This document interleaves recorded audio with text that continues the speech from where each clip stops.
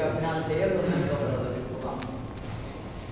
Svatko, a pokazalo je iskustvo, koga odabere Andrej Plenković, ima jednu misiju.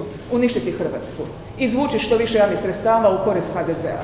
Platiti glasače HDZ-a, glasačku ma- mašineriju. Ništa drugo ne očekujem niti od novog ministra. Očekujem da se u roku od 10 dana pozabavi, zapravo ne u roku od 10 dana, nego odmah pozabavi problemima Republike Hrvatske, da e, nam objasni zapravo na koji način misli reagirati na ove e, inflatorne šokove koje doživljavaju građani svakodnevno, da nam kaže koji je njegov plan i na koji način će e, zapravo e, uvesti Hrvatsku u eurozonu, što je propustio ministar Marić, nevjerojatno, e, koji se dičio e, velikim uspjesima Hrvatske od e, e, rekordne turističke sezone već sad, od e, ulaska Hrvatske u eurozonu, od ulaska Hrvatske u Schengen, sve to predstoji, a onda pobjegne glavom bez obzira.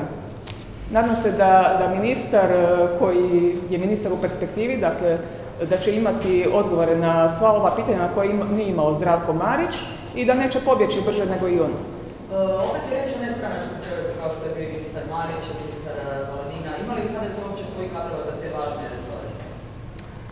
Pa kako čujem, e, već vlada bratoubilački rat u HDZ-u, naime, naravno da HDZ-ovci nisu zadovoljni da se još jedan njihov član nije uhljebio na tako e, važno mjesto, nego eto, e, Plenković je morao posegnuti za nestranačkim ljudima ili je to zbog toga što nitko ne želi više se svrstavati uz Andreja Plenkovića, sve zbog ovog kriminalnog režima koji je ustoličio, ili naprosto nema sposobnog HDZ-ovca koji bi vodio takav resor.